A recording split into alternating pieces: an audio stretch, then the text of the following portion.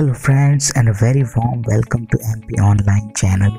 Friends today in this tutorial we are going to learn how to set up Wi-Fi hotspot in Windows 10 and this feature is going to work just the same as we do it in the mobile phones. Friends we are also going to learn how to connect your laptop to a Wi-Fi network okay. Alright friends but before we proceed further i would just like to request you if you have not subscribed to our channel as yet then please click on the subscribe button and please subscribe to our mp online channel. Okay. So now let's proceed further with the tutorial.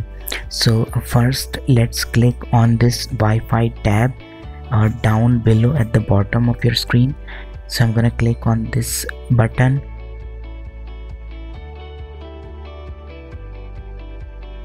and now the moment I'm gonna click on this button I can see a list of available Wi-Fi networks and I can choose uh, whichever network I want to connect. And now if you just see down below we get three tabs over here. First is uh, to switch Wi-Fi turn on or off. And the second tab is airplane mode. And the third button is for mobile hotspot.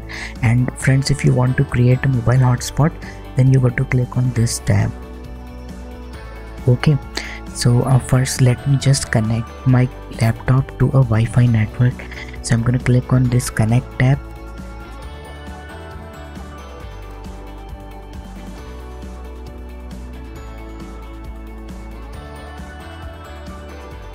And friends now as you can see my laptop is connected to a Wi-Fi network.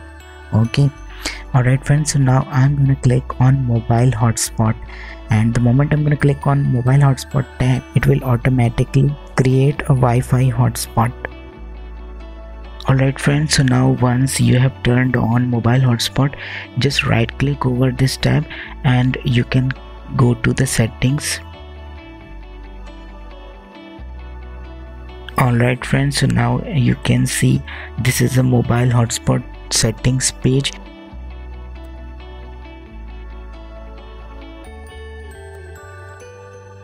now up at the top you can see that the mobile hotspot tab is already turned on okay? And now below you can see share my internet connection from Wi-Fi.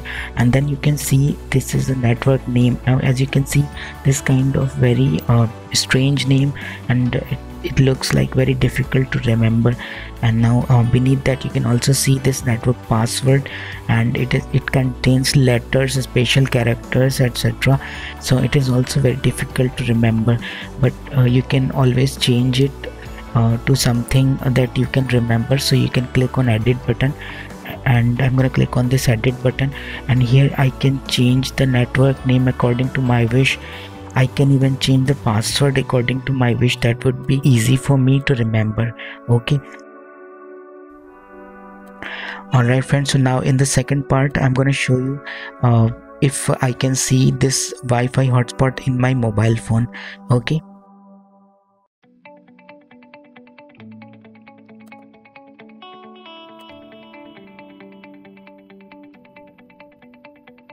alright friends so now as you can see this Wi-Fi is visible in my mobile phone. I can actually connect at least 8 devices with this hotspot.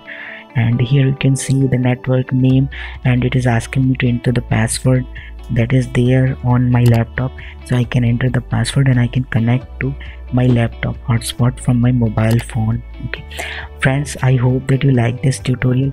Please click on the like button and please subscribe to our channel. Thanks for watching